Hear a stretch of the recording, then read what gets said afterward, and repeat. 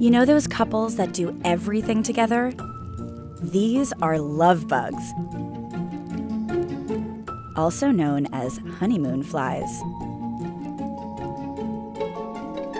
There are 700 species of love bugs, and when you find one love bug, you'll probably find a lot more flying in a swarm or maybe even hanging around your house. Their love story starts in a massive crowd, a raucous singles mixer. They're old friends. They grow up together as maggots underground. Then they take flight all at once in what's called synchronous emergence. In some places, this happens in spring, which is why they're also known as March flies. Males and females look pretty different. He has holoptic eyes. See how they meet at the top of his head? Hers are smaller, and she has the longer head. His holoptic eyes give him nearly 360 degree vision, which helps him find a female inside the swarm. But maybe a flower is a less chaotic place to look for her. If he can get through the competition.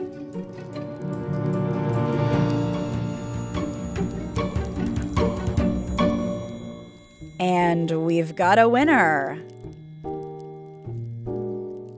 She carries him around piggyback style. Hang on, buddy. There's no guarantee he won't be replaced by another male.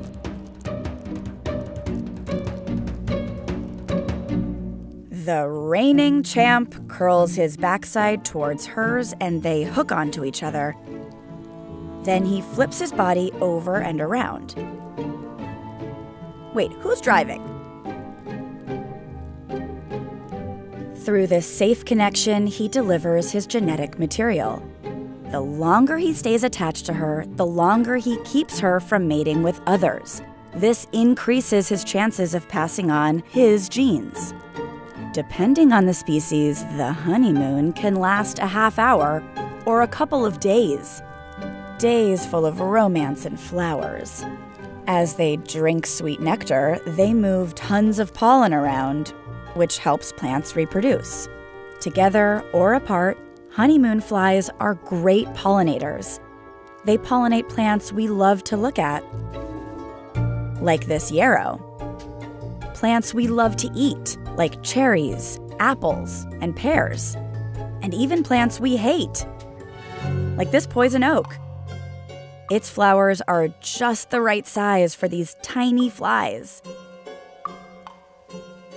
Their oily leaves, which give us a rash, don't hurt them at all. In fact, they make a great marriage bed. A couple that pollinates together sticks together.